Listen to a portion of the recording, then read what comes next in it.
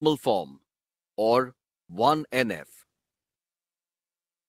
Let us try to understand the concept of the first normal form in the context of database normalization.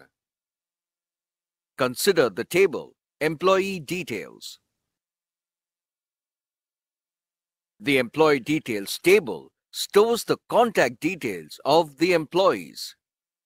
The employee code column being the primary key can be used for the unique identification of records. As some employees possess more than one contact number, multiple values for the EMP contact number field have been stored in table for the same record. The table, therefore, is not normalized.